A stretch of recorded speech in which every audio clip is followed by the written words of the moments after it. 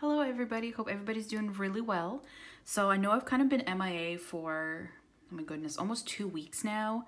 And I do apologize, it's just been a really busy time for me. So I figured maybe I could get on and do some coloring and just kind of chat what I've been up to and such. And yeah, I have a bunch of random things I wanted to talk about today, um, like why I've been gone, um like books I've been reading, shows, movies, Disney Plus, this new book, you know, just a little bit of everything. Um, I don't really have a plan, so we'll see how this goes. But I wanted to color in this um, Hachette Heroes um, Disney The Grand Classiques, uh, the eighth volume book. That was a mouthful. But this book was just released in October. I did do a full flip of it, which I can link. Um, and I've done one page in here already, but I wanted to do another one and I'll be working on page 54. Um, I let you know the number because um, I guess I can just show you what it's going to be. so if you don't want to see what it is, just, I guess, fast forward a couple seconds, but it'll be a spoiler alert. So like I said, I'm doing page 54, and it's going to be this right here. So it's from Cinderella. All right, we're back now. So I guess I can zoom in a little bit so you can see more. But I, I only like to do pages of the movies, cartoons, whatever it is um, that I've already watched. So I've seen Cinderella, so I feel comfortable and okay with coloring this page. But um, for example, I've never seen The Princess and the Frog. I know the story, but I've never actually watched the Disney film. But so I don't color those pages, but I will watch Princess and the Frog and then you know, I feel like then I qualify to uh, color those pages. I don't know if that makes sense to anybody, but I feel like I'm like cheating in a way if I start coloring pages for um, movies and shows that I know nothing about. So if you've never seen one of these books, it has the color code on the bottom. And all of these have a black outline to them, which I love. So I figured I'd start on the outline. To be honest, I find it's much easier to start with the outline and then to proceed to the coloring because you kind of know what your boundaries are. Um, to be honest, I get bored really quickly with things. So for me, I tend to not do the whole outline at the same time because the outlining is not my favorite part, the coloring is. So I'll usually do some outlining and then some coloring, then outlining and coloring. Um, so I usually do a little bit of back and forth just to keep myself entertained. And yeah, so the reason I've been missing, well, not missing, you know, I haven't really posted in almost two weeks now, and I've I've been complete garbage at responding to comments too, which I will get to today. I apologize. But as I've mentioned before, I am currently at university. I am working on my master's degree. And the semesters here are different as compared to in the States.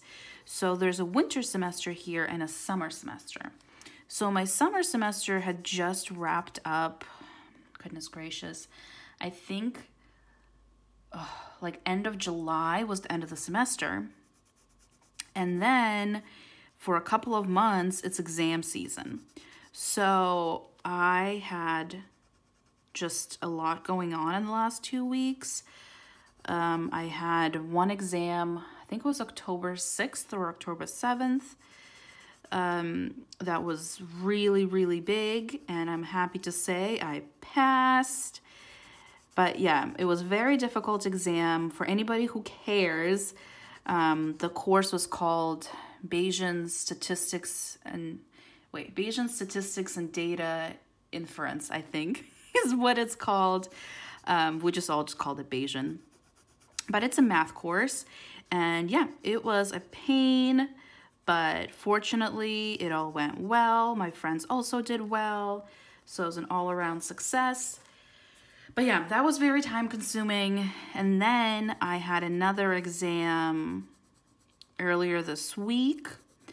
I had to prepare a project. The course was called Machine Learning. I had to prepare a project and then I also had to present it and there was an oral exam as well. So, and for anybody who's wondering, it was done online. So it was all done in a Zoom meeting, but still, it was very, very time consuming. And therefore, I didn't feel that it was right for me to be, you know, posting videos and such because I was just really overwhelmed and doing a lot for school. So, yeah, that's kind of where I've been, but I am all done with this semester. Uh, the next semester starts quite soon, actually, and it will be online again. So it's been announced that everything's going to be online. Um, I think they're doing some things in person, like if you are a nursing student or like a biology student and you have labs. Um, I believe those will be happening. I, I don't know if they happened last semester. Um, you know, my degree does not require labs or anything like that, so I'm not 100% sure. But yeah, so we will be doing everything online again, which to be honest, I really enjoy. I enjoy the online classes. I enjoy always being in my sweatpants. Like, can anybody else relate? Like, it's so nice to be in comfy clothes and yeah. So that's what's happening this upcoming semester. I haven't chosen my classes yet. I have an idea, but I'm not 100% sure yet so I can't really state what I'll be taking. But I'm excited. I, I always am excited by the beginning of a new semester because it's a clean slate, you know, and and this is an exciting time of year we're heading into, you know, Thanksgiving, Christmas. Obviously, it's going to be very, very different this year um, with the pandemic situation, and hopefully, people can still see their families. Um, I will be here. I will not be going home for at least Thanksgiving. I know for sure for Thanksgiving I will be here. For Christmas, fingers crossed, I would love to go home and see my family. It's been over a year since I've seen them. Um, but with the pandemic and everything, I don't think that'll be possible. So I will most likely be spending Christmas with my friend's family. I spent Christmas with them last year. They're wonderful. They cook a mean meal. So it will be nice. Again, it would be obviously very, very nice to see my family, but the people I spent Christmas with last year were absolutely wonderful. But yeah, so I guess I can also talk a bit about what the situation is like here with the pandemic because I know it's always interesting to hear about different parts of the world and how things are being handled and I know it's even being handled differently all over the states, depending on your state, depending where you live. But so I am on the outskirts of Berlin. So my city is like a half an hour train trip away from Berlin. However, they're technically located in different states. So some of the regulations that are happening in Berlin are not applicable here, even though we're so close. And some of the regulations here are not applicable in Berlin. So it's been interesting, but for the most part, you know, they are, they have been the same. But things have been getting better here for a long time, you know, and the, the regulations were lifted. Some of them, obviously not all of them. Like our restaurants are open now, not 100% capacity, but to a good amount. Uh, we still have to wear, oops, sorry, hit the camera. We have to wear masks in public transport as well as indoors, like if you go grocery shopping or you go clothing shopping, whatever you're doing. Um, but I think there was, goodness, the amount of people that could hang out outside, I think was like a hundred or something. So like slowly things have been getting lifted, you know, it's been get, getting better, better and better. However, as of a couple of weeks ago, things took a very drastic turn here. So the um, rate of new cases skyrocketed. Like the number of new cases happening right now is higher than ever. So it has never been this high in this area. It is more than it was in May or April, you know, during the peak times. So people are starting to panic again. I was at the grocery store the other day. I was trying to get myself some shampoo and the shampoo aisle is the same aisle as like the paper products and there was no toilet paper. So people again are stocking up on toilet paper. So I guess the first round of the pandemic did not teach anybody that uh, you know bodily functions were not affected by corona. But uh, yeah, people are stockpiling toilet paper again um, and salami, weirdly enough. I went to the deli the other day and they had a very minimalistic artistic display going because people were stocking up on their salami. So can't blame them. They have very nice salami here. but so yeah, as you can see, I'm just doing the outline right now, but I guess I can switch to coloring for a bit too. So yeah, things are getting more restricted, restricted again. I'm just trying to decide what color. Um, so as of the 24th, when was the 24th? Yesterday, right? Yeah. As of yesterday, we also have to wear face masks when we're outside in highly public areas. So, um, like the main train station, if you're outside of the train station, you have to wear a mask even though you're outdoors. You also have to wear it on like the main streets. So it's, the restrictions are going up. We'll see what else changes, but as of right now, that's a big one. Also, everything has to be closed at 11 now. So that includes like bars and restaurants. The clubs have never reopened. Uh, but yeah, things have to be closed at 11 and it's quite strict. It's very strict actually. So if you know anything about Berlin, that's so unheard of for Berlin. Berlin is a huge nightlife city, you know, whether it is going dancing or just going to a cocktail bar. You know, Berlin is kind of also the city that never sleeps. There's always something happening. So for things to be closing at 11 for Berlin is just groundbreaking in a way. Um, so that has been a big change. They've also restricted the number of people that can be hanging out together. Um, it is now five people, I want to say. So, yeah, so that's kind of the restrictions we have now. We will see how it progresses and how it changes.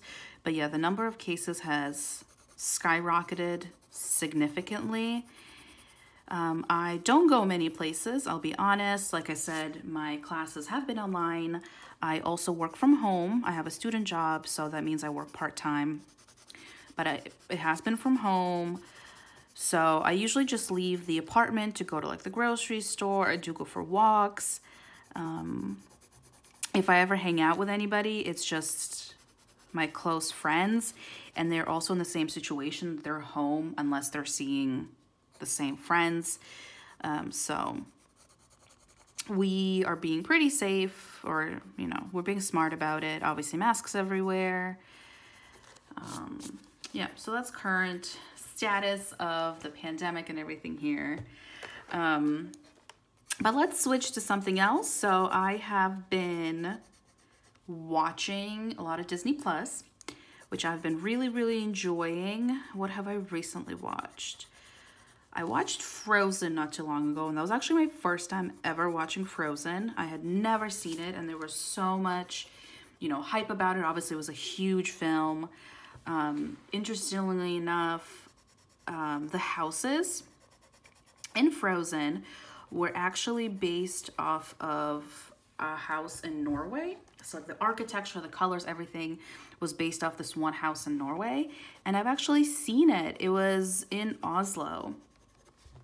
So it was very popular with the tourists for obvious reason. It was like the frozen house.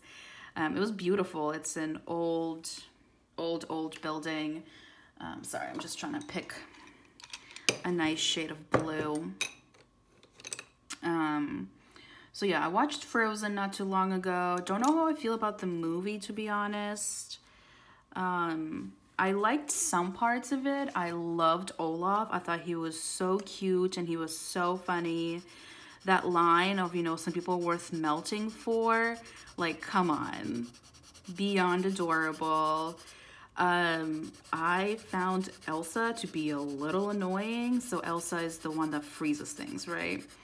And like, I get it. You know, it's not her fault that she, you know, she has this gift or power, whatever you want to call it. And obviously, she didn't mean to hurt her little sister. Oh, also, if you haven't seen this, spoiler alerts. um, so she doesn't mean to hurt her sister, you know, when they're little.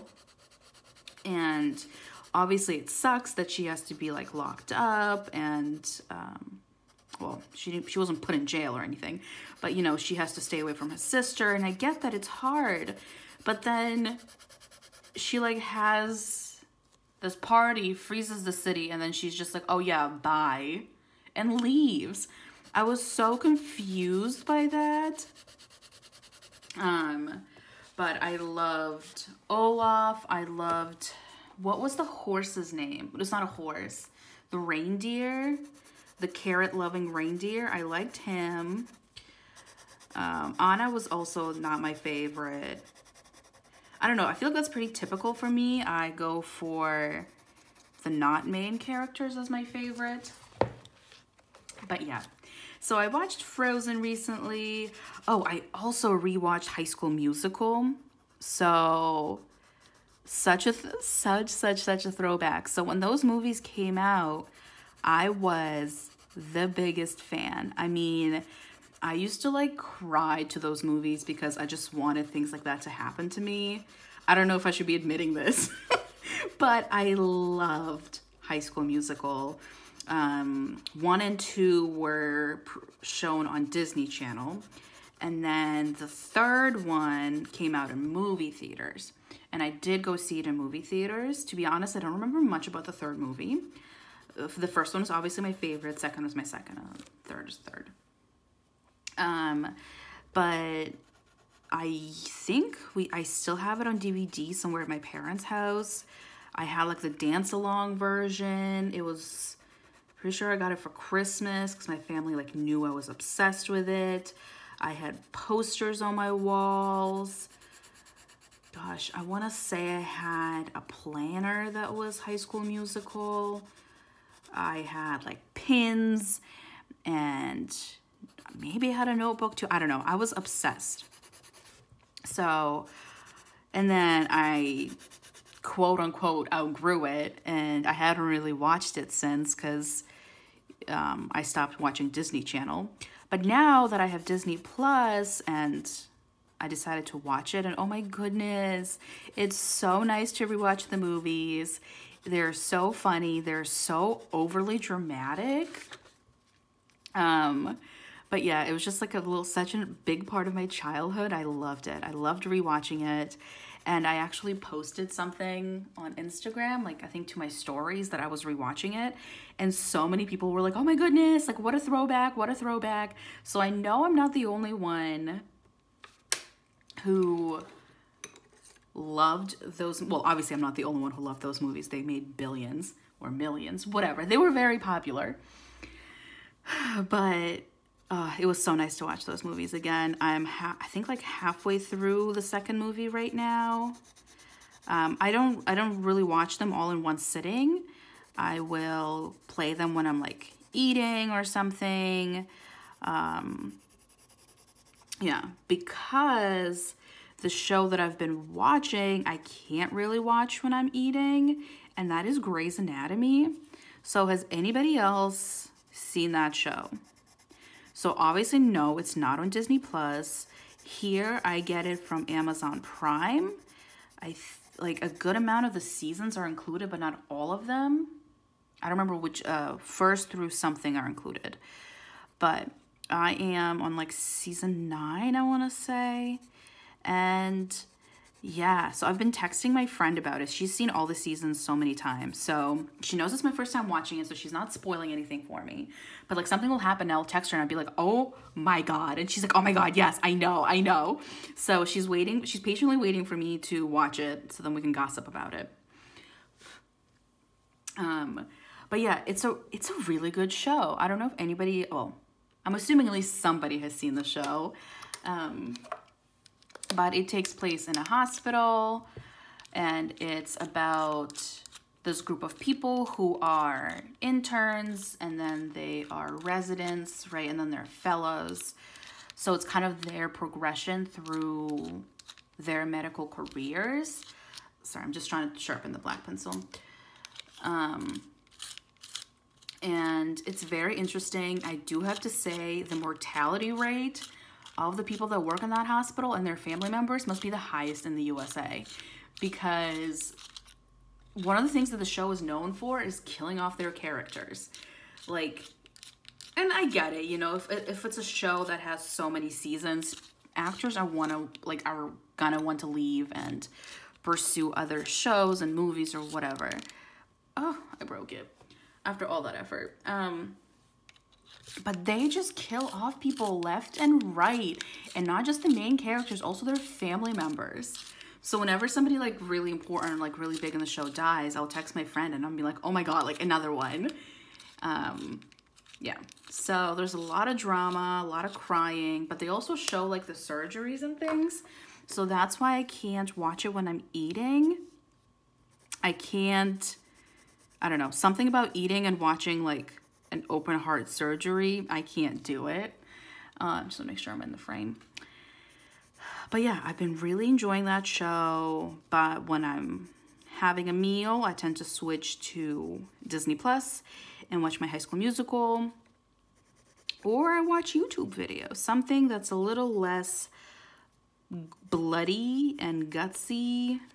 But if you want a good show to binge, Grey's Anatomy is a good one. Also, I don't know. I don't know if this is an unpopular opinion. Does if you've seen the show, does anybody else think that Meredith is really annoying? Is it just me? I don't know. Like some of the seasons, she's okay. Some of the seasons, she's just so obnoxious. Um, in the episode, I think one of the last episodes for last season, there's an episode. Okay, I'm not going to spoil it, but there's an episode where Meredith is crying, and that crying scene, I just fast forwarded. It was so, so, it was too much. It was just too much. But overall, show is lovely. Thumbs up for me. Again, sorry, just trying to pick a colored pencil here. And I am using, see, four. I am using, I can't, can you see? Farber, Faber, Faber Castell, excuse my pronunciation, classic color pencils. These are not the, um, because I know this brand also has like really, really nice high-end pencils. These were super cheap. These were the first pencils I got because I wanted to make sure I, like coloring was something that I enjoyed and I was gonna stick with before I, you know, bit the bullet and bought something more pricey.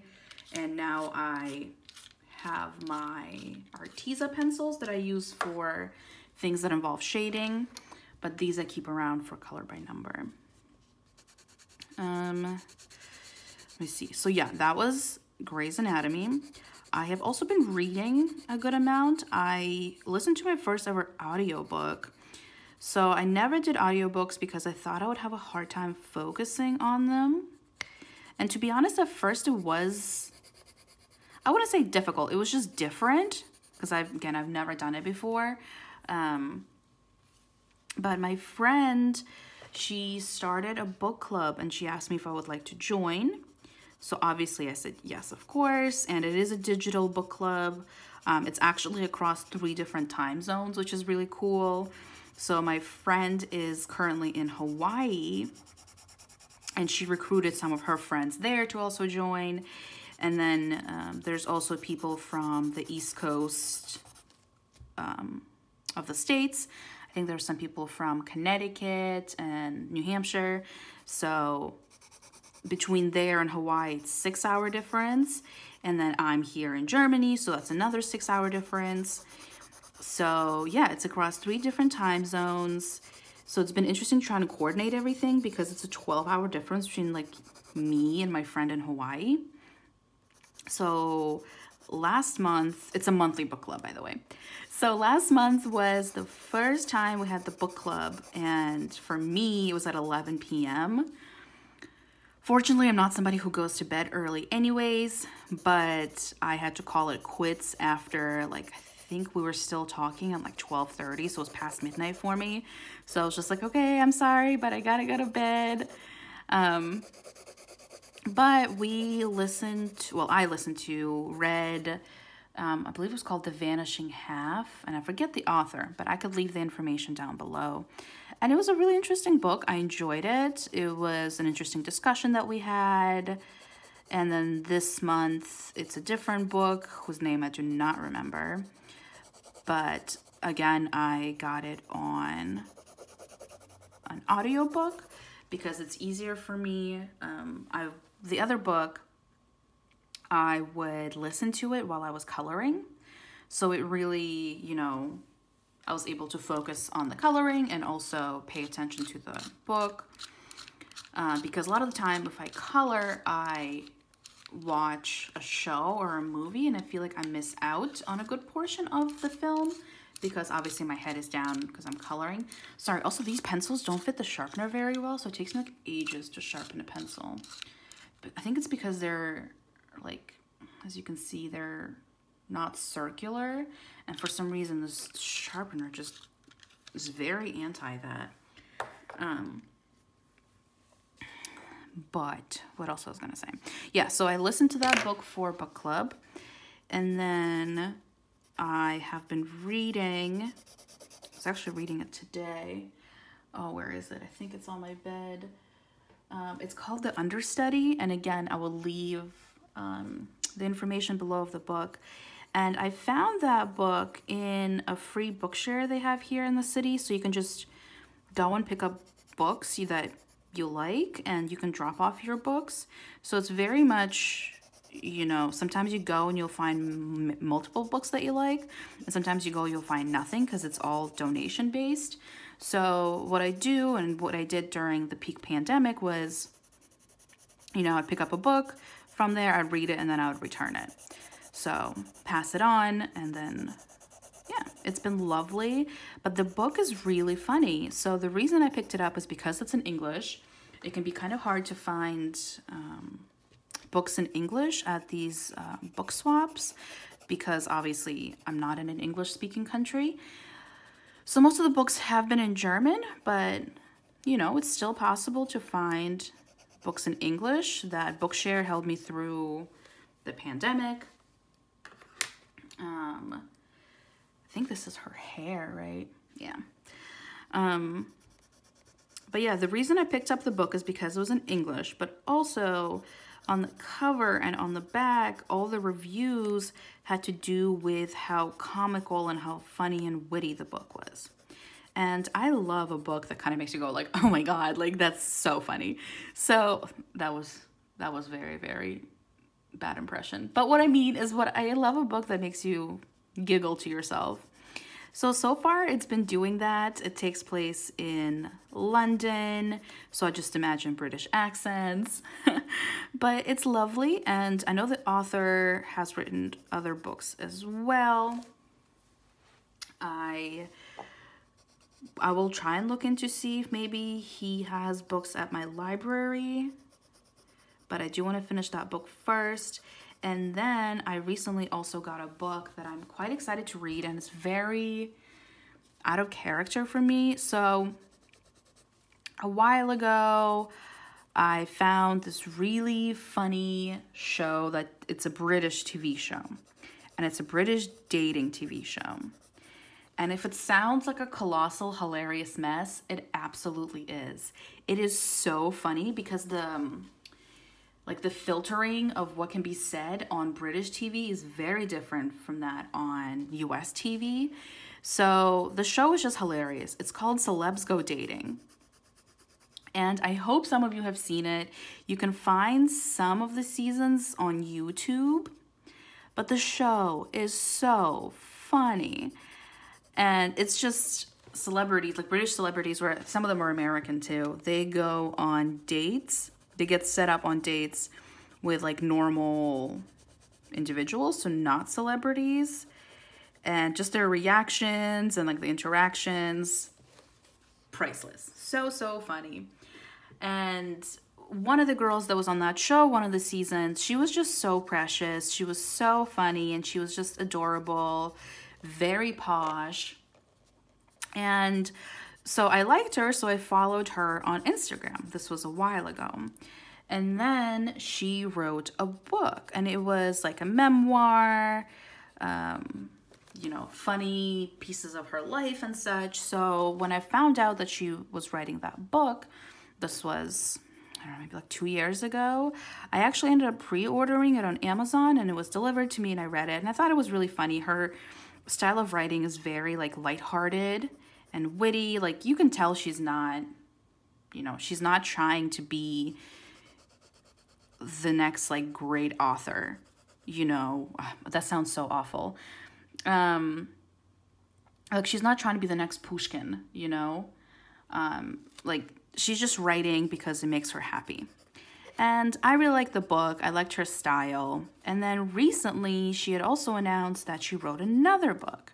However, this one was fiction and it was called it's called Meet Me in London. Again, I will leave the information below for anybody who's interested. Oops, sorry, I hit the camera. Um, and it's a romance novel. I don't do romance novels. I never have. I don't like romance movies. Um, I don't know. I just find them to be cheesy and unrealistic and all that fun stuff. I mean, if that's your cup of tea, that's great, but it just never has been mine. But I still pre ordered this book because I wanted to see what else she came up with. So I haven't started reading it yet because I am about halfway done with my other book and I dislike being in the middle of multiple books at the same time. Maybe if one is like nonfiction, the other one's fiction, that's fine. But if both of them are fiction, my brain just gets overloaded. So yeah, I purchased that book and I'll keep everybody updated or, you know, in case anybody cares. But I think I'm going to stop here um, just because I'm already at 32 minutes and I don't know when my phone's going to freak out. But thank you so much. It's been really nice to kind of just sit here and frankly talk to myself. Um, but yeah, I'll upload this video and then I'm looking forward to uploading the monthly wrap up which is coming up so soon. It's crazy. October's flown by. I know a lot of people are excited for Halloween. I'm not a Halloween person, but I am excited for Thanksgiving and Christmas. And let me see, I've been keeping track of how many pictures I've done this semester. Oh, oh my God, this month. Also, look at my little book that I got. It was so cute. This little doggo and says very Berlin. Um, I bought it at one of the like the tourist stores here in, Ber in Berlin and it was on clearance. Um, I think it was like two something. So it was really inexpensive. So I decided to keep track of the books and things in here. So I'm currently at 25 pages for the month, which for me is quite good. I'll be honest, most of them are color by number, but yeah, I'm excited to do the wrap up. That might be the next video I do. We'll see. But yeah, thank you so much for watching. And I hope everybody has a lovely October and I hope everybody enjoys Halloween. Bye-bye.